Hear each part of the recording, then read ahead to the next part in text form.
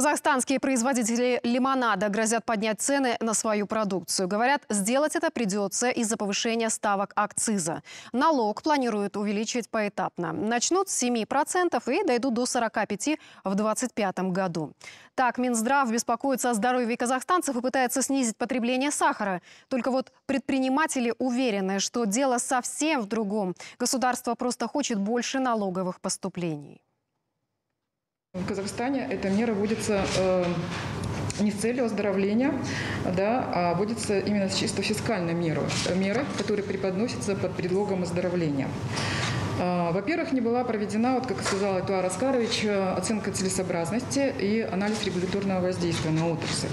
А если мы смотрим по прогнозам ассоциации, отрасль столкнется э, с падением продаж и годовой прибыли производителей, инвестиций в основной капитал и снижением объема производства, сокращением рабочих мест.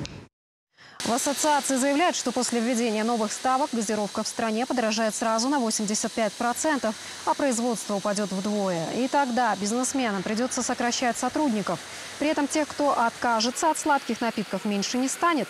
Но в Минздраве все равно настаивают на повышении акциза. Его было решено повысить после того, как резко увеличилось потребление сахаросодержащих напитков.